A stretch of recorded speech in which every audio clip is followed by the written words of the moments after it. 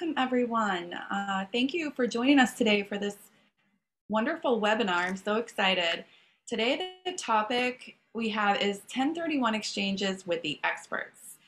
And there's a fabulous panel joining me for this webinar. Uh, it's gonna be packed with value.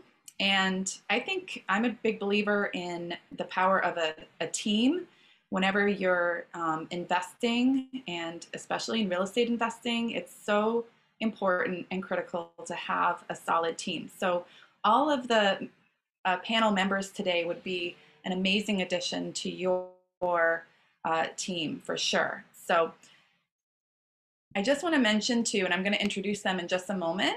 Um, we are, you know, our goal for today is to make sure we answer all your questions regarding 1031 exchanges. So feel free to ask us anything. We are happy to make this interactive as possible. Um, if you have a question, just um, put it in the chat or you can raise your hand and we'll ask you to um, unmute yourself at an appropriate moment. But yeah, we definitely want to make sure that either during the presentation or at the end, we get to everything that you need to know. Um, just so you know, some of the things that we will be covering um, during the presentation are these questions. Uh, what are the important numbers to crunch to uh, make my decision? And what other real estate investing opportunities are there that maybe I haven't considered? And if I do decide to do a 1031, how do I need to prepare and what pitfalls should I be looking out for? So we'll cover all of that and more. So now to introduce our panel. So you don't know me yet, I'm Carey Gatto. I'm a real estate agent and I'm with Keller Williams Realty in the Cambridge Somerville office. And I have a team called Big Picture Realty. And also today we have Michael Gear, who is a CPA with Peter J. Gilman, PC. We have Lynn Bagby, who is a 1031 intermediary, and she's with Asset Preservation Incorporated. And then we have two Delaware Statutory Trust specialists, Wolfgang Cease and Keegan De Silva from Great Point Capital. So thanks everyone, all our experts for being here today. Really appreciate your time. So I'll just get us started. Um, again, I'm Carey Gatto and I have 11 years experience in as a realtor in the greater Boston area. Um, I have a focus on investment-minded real estate. So I work with all kinds of clients, but I really believe in the power of real estate to build a um, financial foundation and financial freedom and security. And so, whether I'm working with a first time buyer or someone who's offloading an investment property, I kind of help them see the bigger picture and how they can build wealth and a legacy with real estate. Um, I have, over the years, specialized um, mostly on listings. So, about 70% of my business is from listings, working with sellers. And with that, I've um, become an expert in marketing and negotiation because, of course, marketing is what gets a seller the most exposure for their listing, and negotiation is the way that I protect my seller's bottom line and their profit. And I, like I said, you know, I'm an investor myself. I love working with other investors. I wrote a book about investing in real estate called You Can Have It All with Real Estate. I regularly do webinars around different aspects of real estate investing.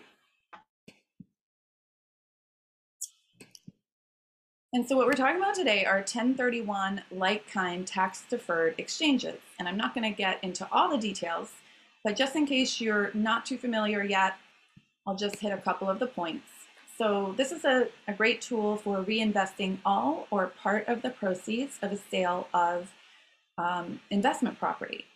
There's a time frame that you have to abide by. It's 45 days to identify the new property and 180 days to close on said property and you can defer the capital gains uh, tax from the sale of um, until you sell the, the next property or indefinitely because you can keep doing this indefinitely. But like I said, we'll hear more about that later. this is just a, um, a market report comparing, uh, it's a year over year report for multifamilies in Massachusetts. And these numbers are year to date. So obviously, um, we're early in the year, it's only mid February. Um, but this is just kind of to take the pulse of what's going on right now in the market. And if you remember, this time last year, we were kind of at the height of the pandemic, right? So um, it was a time when not many people were yet vaccinated and kids were out of school. There was a lot of restrictions. It was it was low inventory at that time for all those reasons. The listings um, that are available right now are, I think it was 17% less than this time last year. So yeah, like 17.5% less than this time last year. And similarly, the listings under agreement are about 13 or 14% less year to date than this time last year. So, I mean, that's, that's fairly significant. Um, and also the sale prices are up 13% from this time last year. Uh, we have less than um, one month supply of inventory, which is, it means it's an extreme seller's market because anything less than six months is considered a seller's market. So this means that if no new inventory came on the market as of right now, it would take less than a month for everything to sell, to be absorbed by the market. Average is around two months, which is actually pretty low. And if it's priced well, most properties are selling in much less than that, like a week or two. Okay, so all of this to say that basically what's going on is it goes back to supply and demand, um, economics 101. Um, inventory is historically low. Demand is high due to interest rates being still historically low. Therefore, prices are the highest ever that they've ever been. So it's a great seller's market. And yet, these dynamics won't last. Um, the market always shifts, it always adjusts and balances. So um, you know, we definitely predict that in the spring there'll be an onslaught of um, if of new inventory coming on. There always is in the spring. The only exception being 2020 when COVID first started, and then it just got pushed to the summer. But this spring, especially because of the fact that there's a pent up demand of sellers who were waiting for COVID to you know, get better. And now restrictions are being lifted and pe most people are vaccinated. So we're expecting there will be a, a lot more inventory coming on in the next month, which is good. If you're doing a 1031, it means you can kind of lock in a high price for your existing property and then have um, more choices as you are looking for a new property. The other factor here is the interest rates. They ticked up last December and they're expected to go up again in March. So um, buyers are very eager to lock something in at the existing rates before they increase. They're not supposed to increase significantly or you know a lot dramatically, but um, even a small increase at high price points makes a dramatic difference over a 30 year loan. So there's definitely um, something to consider there. So does it make sense to sell now? Well, these are the questions that I would recommend you ask yourself. Do you have a lot of equity that could be redeployed or leveraged? And most people do if they've owned property for more than a few years because we've seen double digit appreciation over the past couple years. Um, so unless you've refinanced or um, you know pulled equity out, you probably do. And would it make sense to roll into a higher price property while the rates are low? You know, if you're going to use financing to upgrade your portfolio and buy a higher price property, maybe it does make sense to do that while interest rates are still low. Have you thought about perhaps investing out of state for better returns on your investment? There are lots of opportunities, you know, new communities coming out in different areas of the country that you know now that people can work remotely and things like that that are looking really good investment wise. So that might be something to think about. Or have you thought about investing in commercial real estate? And you can do, I checked with Lynn, and you can do a uh, 1031 into commercial real estate. And there are definitely some opportunities there, like maybe in the cities where um, prices have really taken a hit, but they'll likely come back to some extent. Or do you just want to retire and you know not be a landlord anymore and have a more passive income? And there's a way to do that with a 1031, and both King and Keegan are going to talk more on that in a little bit. Okay. Oh, yeah, that's perfect. And this is a slide I just wanted to show real quick because a lot of multifamily owners will, you know, if they're considering selling, they'll ask me about condo conversion as an option to see if they can make more money that way. Most of the mm-hmm. time, if it's a, you know, a new developer, you know, someone who hasn't done it before, I would say now is probably not the best time to do your condo conversion. And I say that for these reasons. Right now, um, there's a high higher cost than usual for renovation. There's supply chain backups and labor and materials cost more than they did before COVID, a lot more. Um, and sometimes because of permitting, depending on which town or city you're in, the condo conversion can take one to two years or more. In Somerville, sometimes it can take up to seven years because of the restrictions they have there. And also the market for condos has, you know, been a little precarious since COVID started because more first-time buyers are actually trying to get into single-family homes. And they maybe don't want to be in urban areas as much.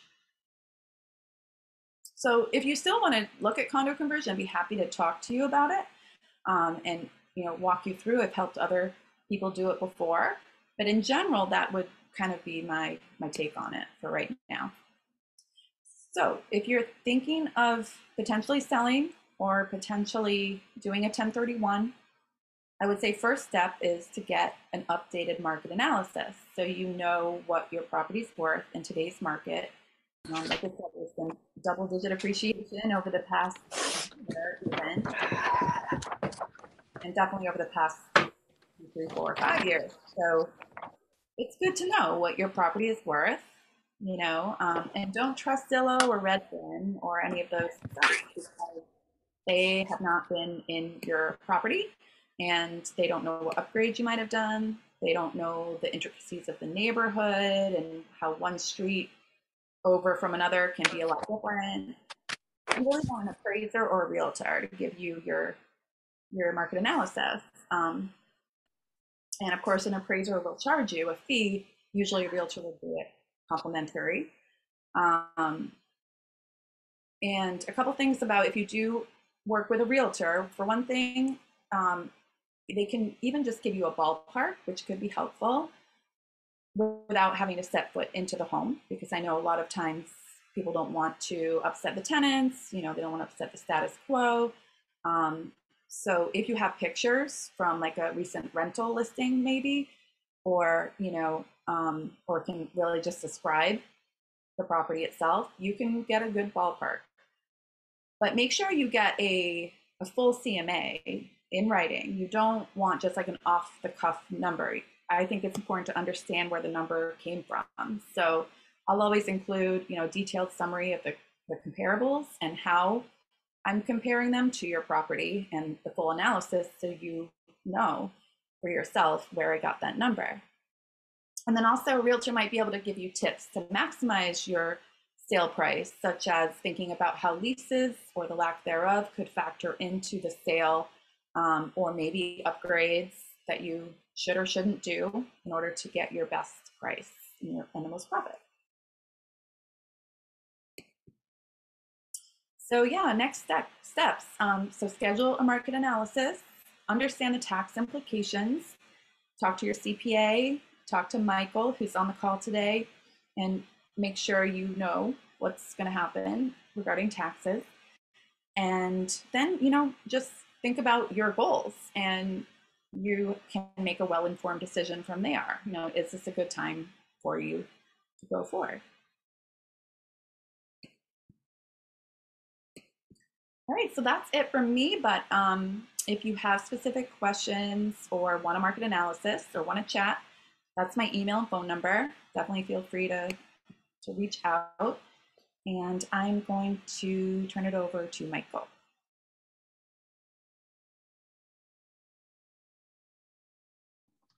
Thank you very much, Carey. Um, it's a pleasure to be here. Uh, as um, Carey said, my name is Michael Gear. I'm a CPA. I've been here, uh, I've been in public accounting for 18 years now, so that's close to 20 years. And uh, I help, you know, my clients uh, with their tax planning and their compliance needs as well in their individual aspects and their businesses. And uh, over the past 10 years, I, you know, as, the more real estate you do, the more likely you are to see 1031s. I'm going to share my screen. And the most important thing is that you want to make sure that you wind up with us that, that when you have a 1031, have a CPA. In the year that you have a 1031 exchange, have a CPA prepare your tax return. Uh, don't try to prepare it yourself. Don't try to bring it to H&R Block. Um, you know, enrolled agents, there, there, there are enrolled agents that do great work, great tax work. Um, but the, the real big difference is that um, CPAs are more, much more likely to have it, not all of them, but more, much more likely to have a stronger accounting background. That comes into play when you have a 1031.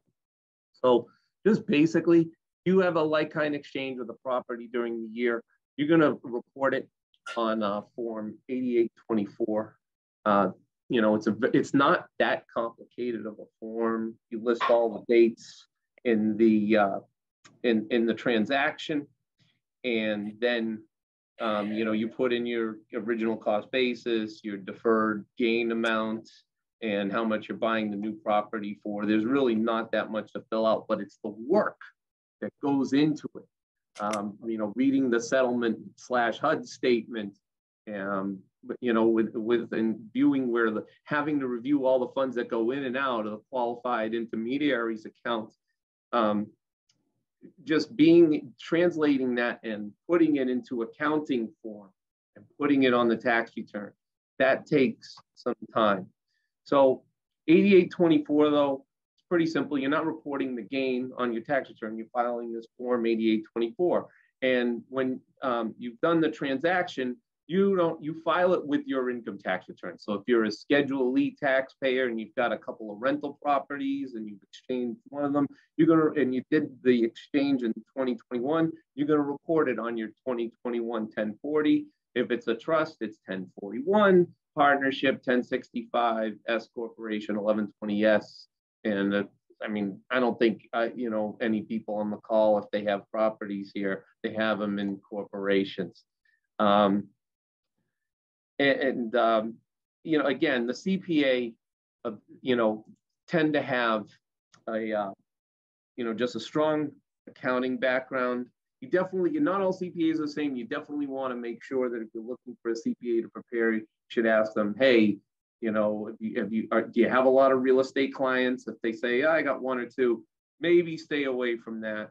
Um, there's also, uh, and it, a lot of CPAs do assurance work and attestation work. So they're, you know, preparing financial, they're auditing financial statements for their clients, reviewing financial statements for their clients that are issued to the bank. it's Not, it's more than just debits and credits into QuickBooks and bookkeeping. Uh, so CPAs to do that to pass the exam and, and practicing, um, get building their accounting career. That's what you generally, a lot of them need to do that. So as Carey um, mentioned before, yes, you can do a, a, residential property for a commercial property. That's right. Um, the IRS, the, the, the, rules here are liberal. It, it can be it's real property, which is real estate, and it's defined as land and generally anything built or attached to it. And it's beyond even uh, residential. You know, if you have a multifamily investment property and you feel like you want to go into uh, the retail or office space and going into commercial, um, it's beyond that. You can do, um, you know, apartment, an office building. You can cell towers are classified as real property. Hotels, warehouses, storage facilities. Storage facilities got up in the pandemic. I don't know where they are now. Um, and even undeveloped land. Um, if you have undeveloped land that, you know, there's a rental and there's some sort of business activity on it, and you feel like uh, getting uh, into some uh, rental real estate, multifamily, then you can you can use the undeveloped land in the 1031 uh, like kind exchange transaction. And the rest of these slides are just um, going through, um, you know, different tax matters. Um, is you know, there's the 45 day rule to identify, and there's a 180 day to complete the acquisition of the new property. You also have a, a reverse exchange. I'm sure Lynn will get into that more. Um, that's the opposite, where you actually acquire a property first and then you sell your investment property or one of your investment properties. And it's the same time frame 45 days to identify your sold property and then 180 days to actually go through with selling your um, sold property. And just keep in mind, it, you know, sometimes I had a client uh, last year that was uh, that sold um, a residential condo and he contacted me and he said, "Hey, what's what's the gain going to be on this?" And the tax it was about ten grand, and at the end of the day, it wasn't it wasn't that much. It wasn't that big of a deal, so didn't do uh, like kind of exchange. It was too much to go through, and, and you know it is a more complicated transaction than uh, just selling the property. But what I'm getting at here is the more that it appreciates, the more of an unrealized gain that you have in your property that you're looking to get rid of, then the more it makes sense um, for tax purposes um, to do a uh, like-kind exchange and defer the gain and not have to pay any tax. Um, keep in mind, two years. That's that's the that's key, and it's got to be it's got to be business property. So an investment property, something you're renting. It's it's not your home. So if you have, um, if you bought something and after two years and, and you've rented it out and after two years you feel like, you know what, I'm gonna, I want to exchange this for, I want to, I want to invest in something bigger, then um, that's when you can do the 1031. And it's not, you're not going to find that in the Internal Revenue Code. It's based on an IRS court case that a judge ruled on, and he threw out the two year um, rule. And uh, he mentioned two years as like a hypothetical length of time. Uh, so that's why everybody follows the two years and the 1031. And just keep in mind, so if you're if you have a mass apartment or a condo that you're renting out and you want to go into a different state, let's say it's New Hampshire. So and you do a 1031 exchange for that new asset in New Hampshire. So the at the federal level, that's going to be rec- that's going to be recognized as a deferral. So you won't owe. You'll file um, the 8824, and you won't have to yes, pay federal tax on that. Yep, no problem. But then you, but if you, um, but at the mass level, it if you do that exchange because it's a, not the same because the ass, new assets not in the same state as mass, you will need you you will owe tax for mass. Mass won't recognize the deferral. Another thing to think about is cash. If you had a million dollar property and with somebody and you did a direct exchange and they gave you a nine hundred thousand dollar property and they said, "Hey, I'll give you a hundred thousand dollars." That one hundred thousand dollars in cash, also known as BOOT, that would be taxable as the gain. So you'd have a partial deferral of gain on that. And just to keep in mind that when you have when you're looking for 100% deferral, the property you're acquiring must be equal to or higher than the property you're exchanging. Um, if you so if you have if you buy a if you sell your property but then you buy a property and it's worth less but and it needs substantial improvements, those um, substantial those improvements will get you and using everything that the bank gave you uh, from the mortgage and putting it into the property, that will that will help you qualify for the full 100% uh, deferral again. Just again, watch out for boot. If your if your improvement costs fell a little short, you're able to save a certain amount of money. You wouldn't want to just distribute the remaining money to yourself. Um, there's extra rules that you need to follow there. It gets somewhat more complicated. Um, and just keep in mind, let's say you you identify you you sell your property, you go you set up the 1031, you sell your property on 1231 uh, 2021, and uh, you you got the you got to do the rest of the transaction. That's okay. You can straddle a year. It's but it's more likely that your return is going to go on extension uh, if you do a uh, like kind exchange. And I'm not going to go too far into this because I want to keep things going. These, you know, I mentioned the drop and swap here with, you know, if you have a partnership and you want to, um, some part, one partner wants to do the 1031 and the other partners want to sell out. There's that. Um, keep in mind, real briefly, if you're in a partnership, if, if it's going to be the partnership that's going to purchase the new building, that partnership needs to stay alive as an entity. So it's important if you have other people leaving, if you it, instead of doing a drop and swap, you got to get somebody else in to keep the partnership alive in order to get some sort of 1031 going there. And just this is very important. People think people have in their mind, oh, I just did a 1031. I never have to worry about that capital gain because um, I'm, I'm never going to pay it. Well, that would be true if you hold on to that building through the rest of your life, you pass away, then the current law, that's going to get stepped up in basis. That's okay. But keep in mind, if you go into a new property and then after a few, if that's more, and there was a highly, and there's high appreciation on that, and you decided to sell that new property, the basis, the cost you're using is, is what, what that basis was of that original asset plus any improvements you could have a really high gain selling um, that you know property if you wanted to get out of the real estate business. So that's what I have. I'll just flash my first slide. That's my phone number. That's my email.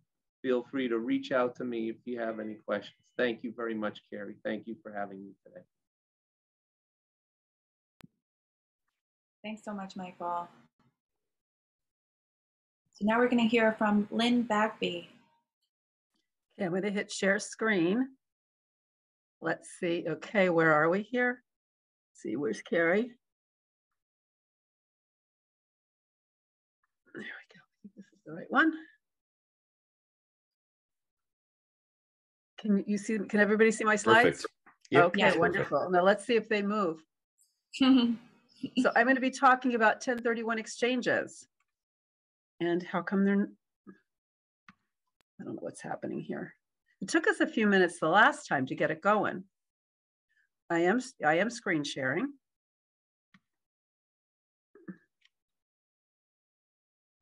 Hmm. Well, you know what? I'm going to have to just, I don't know what I'm going to do because it was working when we began, but it's not working now. I could Let see me stop, let me stop the, Tom, but it's not, Good. it's not letting me advance. Let me just stop the share and start it again.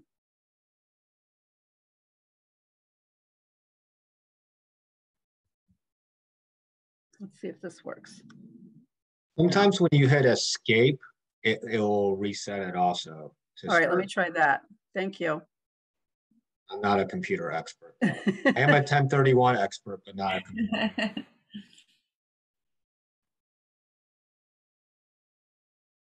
Okay, let's see if this works. All right, so we're going to talk about the power of 1031 exchange. You know what? I'm just going to dive in. Actually, and Michael, thank you for that presentation. And Carey, thank you for yours because 1031 exchange is a tax election on the real estate transaction. The keywords are that that property that you're selling needs to have been investment property, that the taxpayer is held on for enough time to qualify it as investment. So as Michael addressed, that there is a general two-year rule um, that is because there's only two sections of the tax code that actually dictate a hold, holding period. One's in the related party section for related parties doing exchanges or swapping properties where there is a two-year hold. And then in qualifying vacation home guidance where there's a 24-month hold, which could go into three taxable years. So there are more factors than just holding. So if you have property now that you've had for say under 12 months, it would probably be like driving on the freeway the wrong way, you better have a darn good reason when the cop comes to give you the ticket. All right. So, not saying you can't, it's all about intent. There's a lot of different uh, factors involved. The other thing is that um, Michael addressed absolutely correct. This is tax planning. I find that many clients, I've been in this business industry for 21 years and as a certified exchange specialist. So I've uh, worked for Asset Preservation Inc. We're a 33 year old QI firm. It's all we do all day. We're not in court. We're not doing anything else. We're dedicated to that. We're owned by Stewart Title and Guarantee, which is a 127 year old national title insurance company. So we're well backed, we're well financed, and very experienced at what we do. We do work with all types of exchange formats, delayed, reverse, and improvement exchanges. And I'm only really going to talk about the delayed today. So again, going back to you know holding and what makes a property qualify, it's not just the amount of time you've held the property. There's other factors involved. So this tax code, one of the slides that you're not seeing, and I will follow up. Carey's going to give me um, the names of everybody that signed up today. I am going to PDF these slides and send them to you, as well as long as well of some other um, interesting material like that talks about the uh, the stages, the introduction to the delayed exchange requirements for full deferral. Going to get a whole bunch of stuff. So that said, you can just grab take a notepad and, and write a few notes. So this is a tax planning tax code. You you probably don't want to be cavalier about it because you don't want to pay your taxes taxpayers that own investment property, when they see their capital gains tax hit, especially now, don't want to pay those taxes. So this is a legal way to avoid them.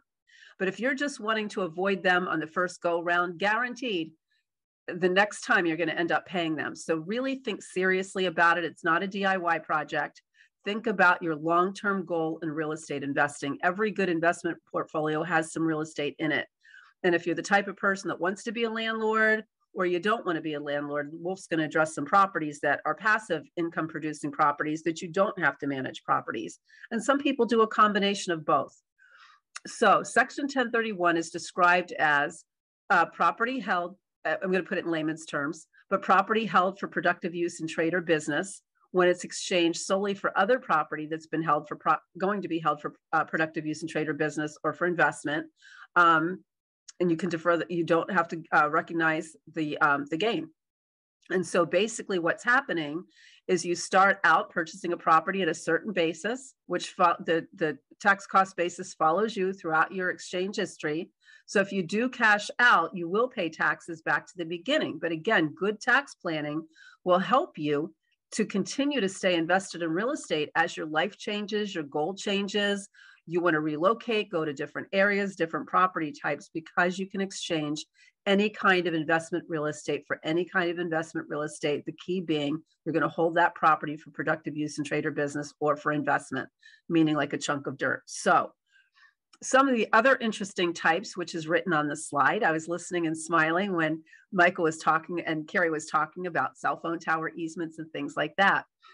Depending on if you're in a city, Air rights are also exchangeable. If you own the building underneath and you want to sell the airspace on the top, you're more than welcome to do that and go buy an apartment building if you want to. Um, and you can cross state lines. Some other types are um, leasehold interests of 30 years or more. It does include the options. The DST types of properties that Wolf and Keegan are going to talk about that are passive income streams. These are institutional grade properties for the most part. Um, and you basically are going to sit back, no property management, and you can collect a check. When is a good time to get involved in a 1031 exchange? Well, when you're thinking about if you have investment property and you're thinking about selling it, you want to talk to Carey as far as listing your property, get that current market analysis, and anything else you need to see if this would be a good time for you to sell. Then you'd want to visit a CPA like Michael to be able to see what your tax hit's going to be if you just outright sell the property and you don't exchange. Michael's right. If you've just got maybe a five or 10, $15,000 gain or so, maybe you don't want to exchange. But where's your ouch factor? How much in taxes do you not want to pay? Because there are four taxes that are paid on a 1031 exchange. The first is the depreciation recapture tax.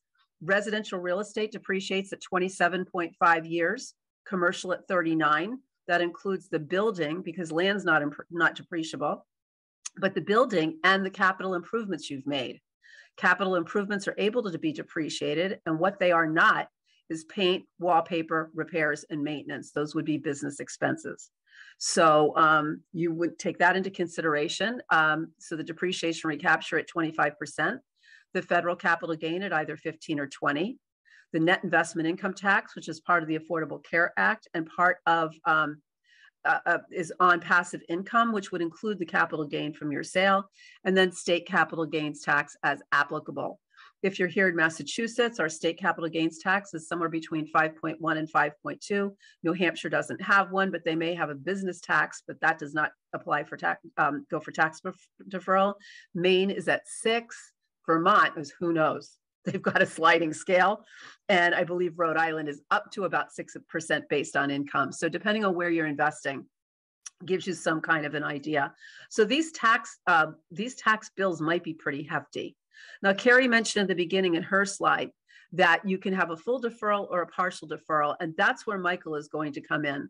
One of the figures you need to know is that tax cost basis on the property, which is how much you bought it for, plus capital improvements minus depreciation. That's the tax platform from which your capital gain is calculated. So the gain is between that number and your sales price of the property minus your allowable costs of sale, which are real estate commission, tax stamps and recording fee, fee for legal counsel, if any, and the qualified intermediary fee. That's where your gain is. And that's what gets taxed at at least a, a property that's sold in Massachusetts at those, probably those four tax rates, um, depending on if the NIIT tax applies. So, um, so that said, if you're buying equal or greater than the net sales price of your property, you're able to buy other replacement property to satisfy that number. You can identify and purchase more than one.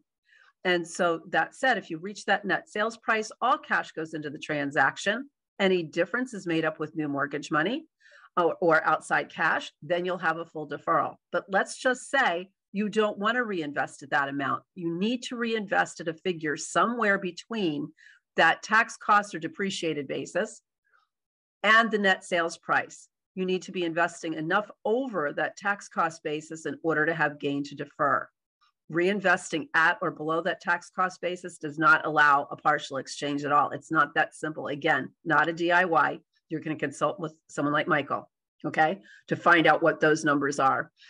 Um, and then maybe you have a conversation about, well, looking at the rest of my tax pack, uh, tax picture, how much should I spend? How much should I reinvest? Now, this is where DSTs like what Wolf and Keegan are going to talk about come in. Sometimes you'll have a property Let's just say, for example, you have a net sales price on a property. Let's just say it's in Cambridge in Carey's world, but you sell for a million sixty-five thousand dollars, and we're going to assume that sixty-five thousand dollars represents your allowable cost of sale. And so you and your tax cost basis in the property is four hundred thousand, and you find a property for eight hundred thousand. Well, you still have two hundred thousand sitting on the table that's where going into a DST, because right around here, you're not going to really find something for 200 unless you go to a less expensive area, but you really don't want to manage a property out of state.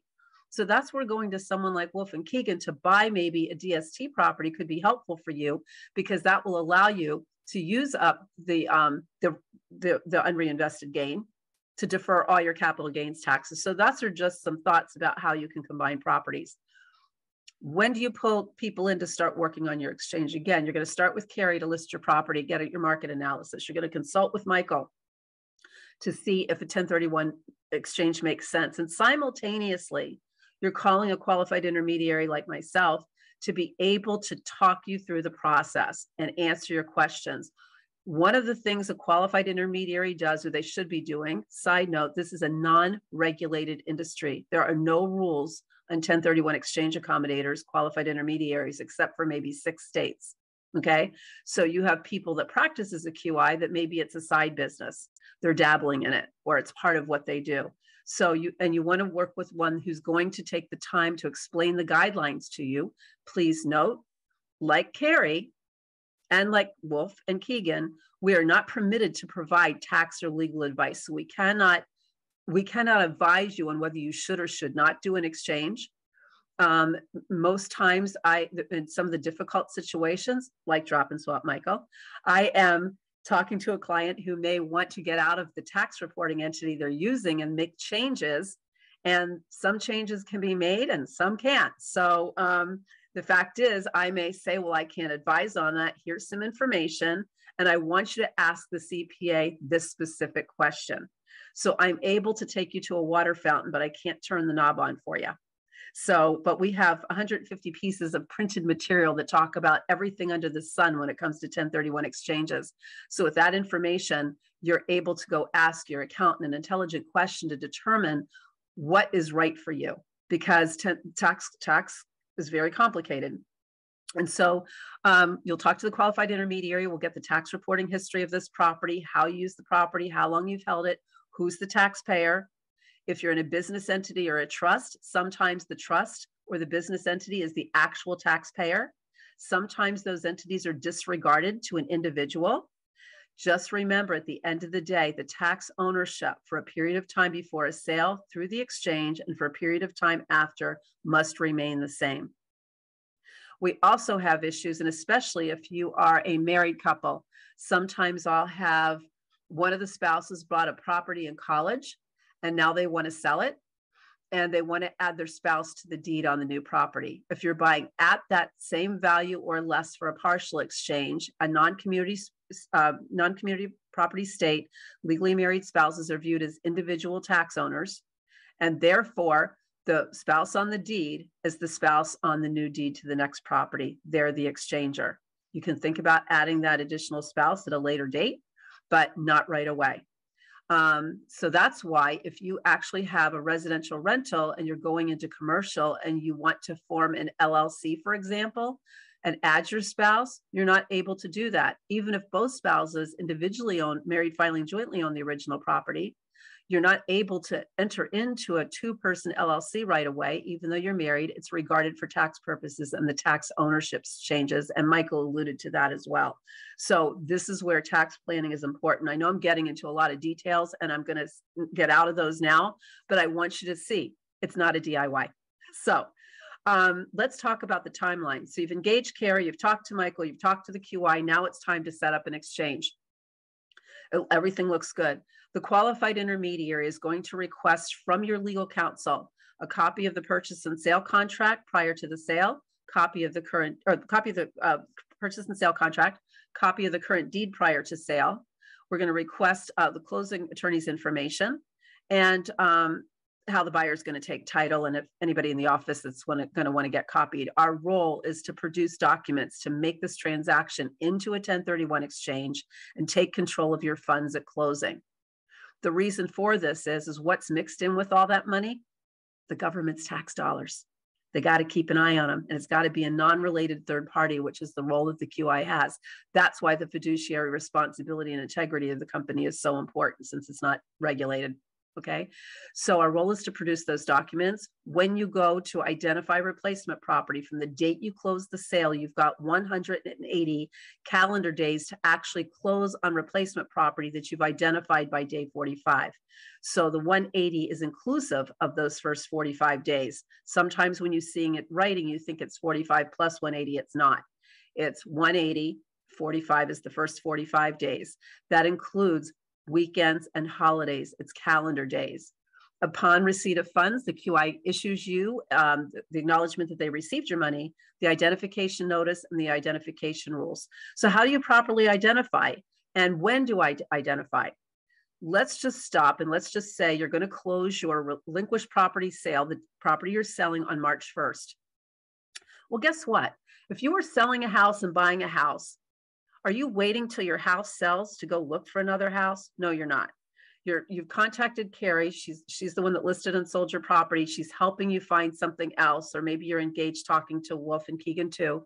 But at any rate, you're talking about what you want to buy and looking even before your property sells. Now, let me tell you about some real world experience. Based on the market we've been going through, um, everything's a mess. It's been. So and there have been deals that have fallen apart because there's been bidding wars and sometimes the person with the winning winning bid didn't end up qualifying for the mortgage and the deal fell apart. So before you start negotiating on contracts depending on market conditions prior to the sale you want to make sure that your buyer can't fall away for any reason short of death but like that there that there's a bad title report. There they um, there's a bad inspection that the um, appraisal doesn't come in right. If they can walk away you might get stuck if you've already entered into a contract. So when you feel confident that your buyer's not going to walk out you're able to make deposits and negotiate on replacement property even before your sale closes. Just make sure that it's going to close after your sale. So what happens then is the QI prepares the documents for your 1031 exchange. You sign them prior to the closing of the sale, even if it's the same day. They take in the money. Then, when you go to identify, ideally, you're coming into that 45 day period, and on the ID notice that the QI sent you, you're going to list the property or properties you intend to buy. There's three different property rules to use. The three property rule allows you to identify up to three properties of any value with the intention to buy one, two, or all three, because what's your goal? To defer all capital gains taxes to hit that net sales price or greater, okay? The 200% rule allows you to identify four or more, but they can't be more than two times your contract price. So if you sell for 500,000, um, that's your sales price, not net sales price, sales price. Two times five is a million dollars. You're able to identify four or more properties, but they can't exceed a million dollars. That's two times your sales price. Now you don't have to ID properties valued up to a million dollars. You could come in at 800,000, but because you've identified four or more, you have to use that next rule. The 95, and um, I know Wolf and Keegan do these a lot with DST properties because many times there's portfolios that have multiple properties. And when you're doing DST, you've got to identify by the amount, the number of properties. Um, the offerings are different when you're getting a fee assessed by the QI, but it's actually the amount of properties in the portfolios if there are multiple property portfolios. Um, and then the last rule is the 95% rule. So you can identify four or more, but if the total of the values of those properties go over two times your sales price, like say over the million dollars, even to a million and one, so double, triple check your math, right? Um, then you have to be able to buy 95% of all those properties. If one property falls out, most times it, the, the deal's done, it's dead because it's more than three properties and it exceeds 200%. So they don't give you partial credit. Last thing I want to talk about. Oh, and then let's say on the backside, the QI will wire out your funds for the purchase closing, um, and there's exchange docs that go with that. So um, again, when you see the slide deck, I've got a whole diagram of how it works. Um, and you can always give me a call. My numbers are going to be on that after the fact. Call me up, and I'm glad to have a conversation. Lastly, and then I think it's a time for me to get off. Somebody give a flag because I was so busy with this, I didn't look at the time. Multifamily yeah, properties. Pardon me? We are running short on time. okay, all right. So let me make it real quick, Carey, because this one's important. Suppose you live in an owner occupied multifamily. Michael, this is where we need you. Um, owner occupied multi, and say it's a three unit and say you live on the first floor, two floors two and three are rented. Let's just say, for example, it's a nine nine hundred fifty thousand dollars sale. Take away the fifty thousand dollars for allowable costs. Let's just say all three units are the same size. Um, which, based on square footage, Michael's decided that you live in a third of the property, and the other two thirds is investment. You can do an exchange for $600,000 into other investment properties under Section 1031, and then you can take uh, exclude the capital gain on the value of, of the um, capital gain of the primary residence up to $250,000 This is a single filer, 500,000 married filing jointly. That is called a split treatment transaction. So if there's mortgage value on the property, it needs to be allocated. You can't take the remainder of those, uh, the cash on the table, all in cash for your primary value and stick the home mortgage on the investment side. You'd have to allocate that accordingly as well. So that said, thank you everybody for your time.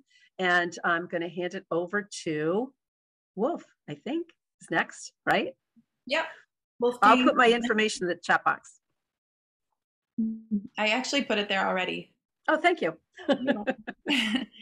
Lynn is a wealth of information. She's so responsive really to questions. So she's a great person having your corner.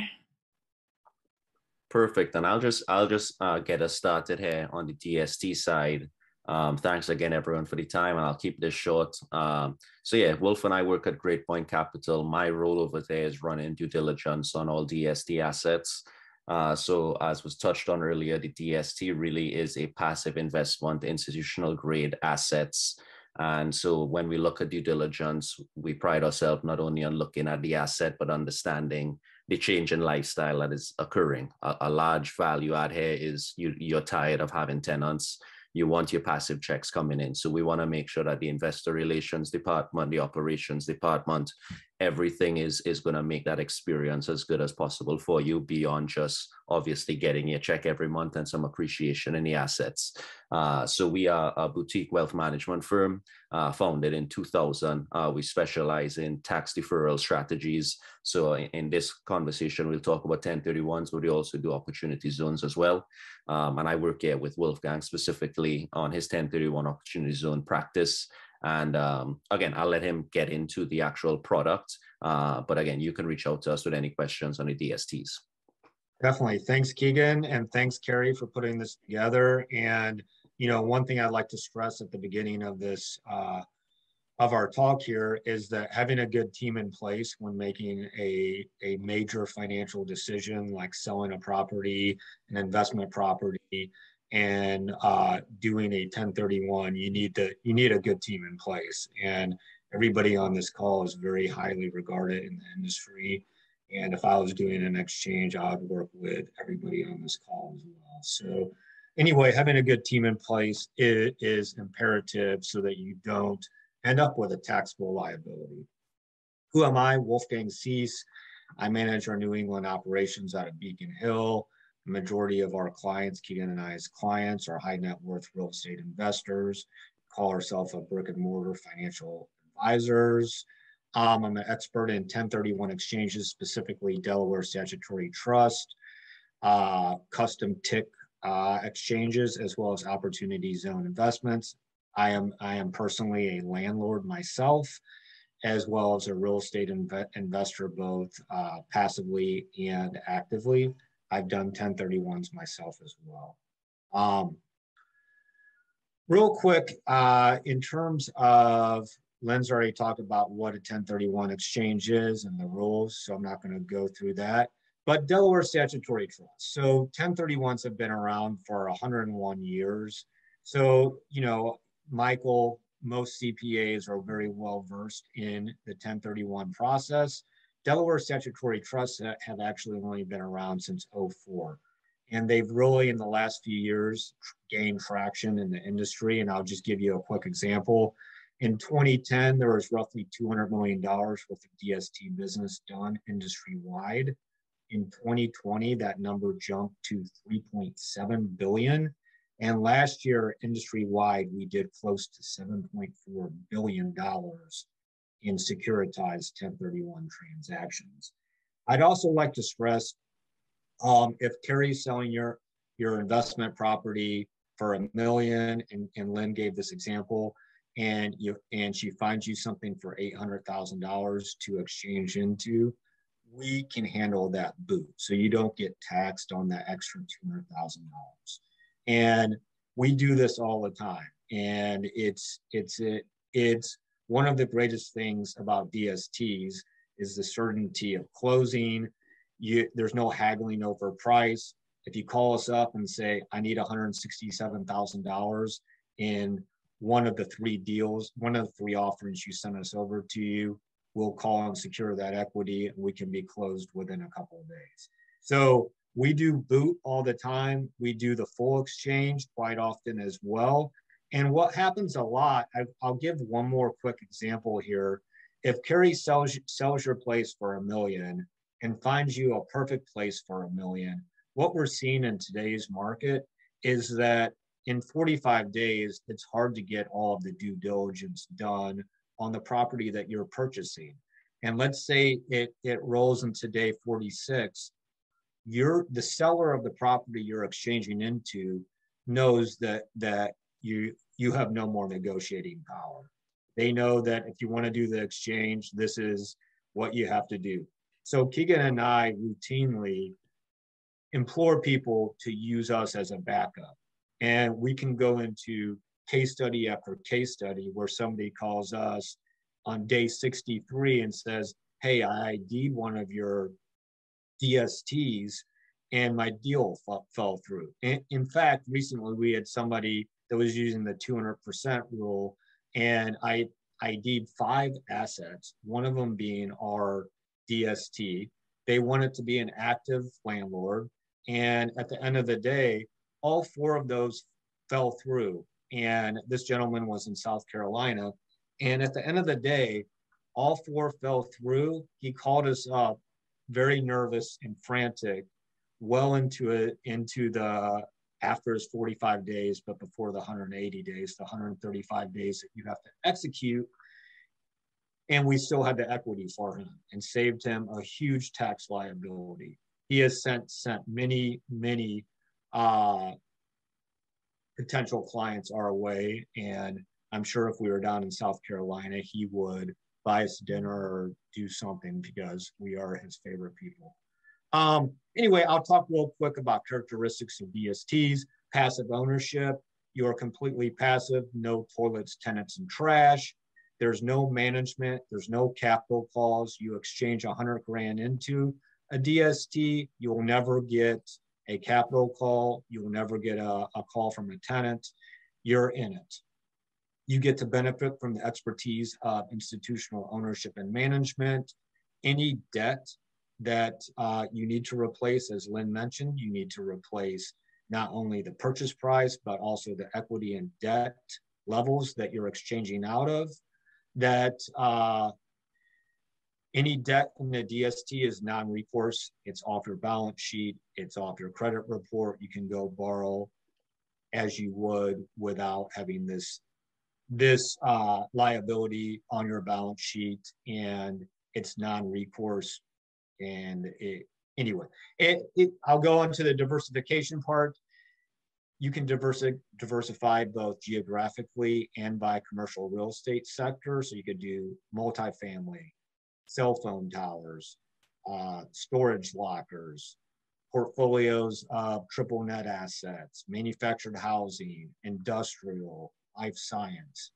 It's so you you can take small slivers of your exchange and spread them out both by by uh, state, city, and also by sector. It's not a blind pool. They're not raising capital. They've already bought the asset. It's stabilized, and they're just selling uh, slivers of equity ownership. And lastly, I'd like to point out if you do exchange into a DST, you are not married to that structure at termination when the DST sells sells the asset, you can either take your cash and pay taxes, you can roll it into another DST, or you can call Carey and exchange it into another uh, investment property with her. This is just a, a hypothetical menu of DSTs on, on a uh, broker dealer's platform. I'd just like to point out that many different sectors, as I mentioned before, and many different LTVs. So we have everything from an all cash deal, all cash offerings to offerings that also that are 87 and change LTV. So we can blend a portfolio with multiple DSTs to fit any LTV requirements for debt replacement for the IRS. Here's a DST investor profile, somebody that's owned, owned appreciated assets, hesitant about selling due to a large tax bill, doing estate planning. DSTs are great for estate planning. They're very easily divisible. Coming up with the value of a DST upon death is very easy. It's uh, and then it's you know if you have seven heirs, you get each one gets one seventh of your interest in the DST somebody that's looking towards retirement, sick of being a landlord, looking for passive cash flow, escaping a local real estate market. Uh, we've we've exchanged a lot of people out of New England and Chicago area looking to exchange into Texas, Florida, Nevada, these tax-free states. So there's been huge demand for people to escape to lighten to diversify out of a particular uh, higher tax state.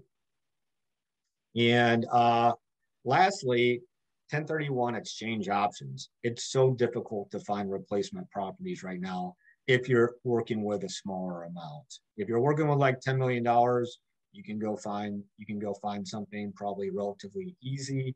if you're working with a million dollars, it's a tough, it's a tough one out there.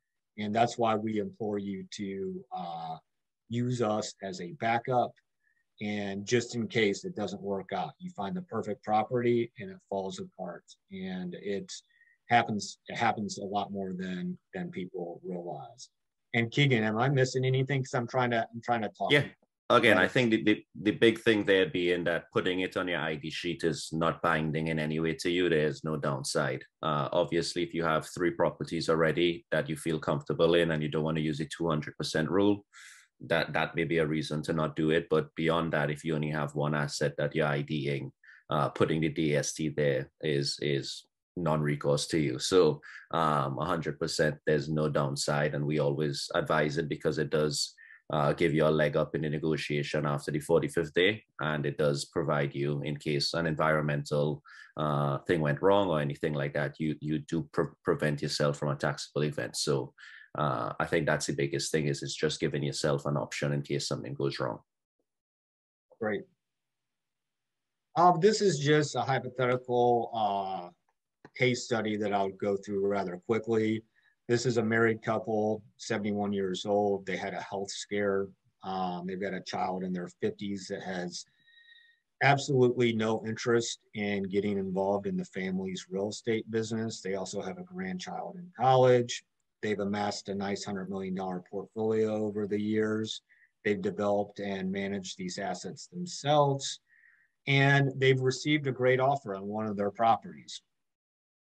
So that offer was $20.75 million with 11.25 million in debt that they needed to replace as well. So hypothetically, what we did was put them in a blend of eight DSTs with uh, different LTVs that matched their exact exchange requirements for the IRS. And they were very happy with us doing so but we we not only diversified them by commercial real estate sector, but by by also LTVs in different amounts. And of course, all these DSTs hypothetically would be paying different amounts. And this couple was very happy with the, the end result here. And I'd like to, to leave, leave it with, again, you want to have the right team in place. If you don't, you're really risking a taxable event. I would say probably three to four times a year, Keegan and I get a call and somebody's like, hey, I want to do a 1031. And we're like, great. You know, we've got a bunch of DSTs for you to look at and TICs. And I, you know, we say, when are you selling your property? I closed last week. Great. Who's your qualified intermediary? Oh, I don't know if I, I don't have one. Well, guess what? You're not exchanging. And it's a very uh, easily avoidable very, issue. Yeah. yeah. it's so uh, avoidable. Uh, and so yeah, we we are here to educate, and um, as much as you need continuing education, uh, we're we're here to be a resource. I think everyone here is, and uh, yeah, the key is getting in front of this uh, be, prior to your sale, as was mentioned before uh, connecting with as many people as possible so that you have, again, people working for you on the outside that are giving you options well in advance of your sale. Definitely. Well, we think I'm going to pass this back to uh, Carey and un- unshare my screen, but Thank I you. know I appreciate everybody on this panel today. And as I mentioned, everybody on this panel is very highly regarded and Len is, I, I don't even, I don't even think of another qualified intermediary when I think of sending somebody to a QI. She is, as Carey mentioned, a wealth of knowledge and the best in the industry, as is Carey, as is Michael, as is Keegan, and hopefully people think the same as me as well. But uh, anyway, thank you very much. Thank you very much. And I will stop my share. Awesome. Thank you so much, Keegan and Wolfgang. Um, I, I know we're a little bit over time, but I'm happy to stay on if anyone has any questions at this point. I know that was a lot of information, and um, all of these panelists are obviously experts and, and also educators, which I think is an important an important aspect of someone on your team. So, any questions, please feel free.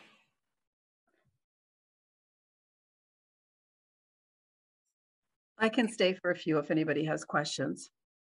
You're welcome, Al. And if not today, then obviously um, all of us are open to chatting on the phone after, whenever it works, um, or you know, email. But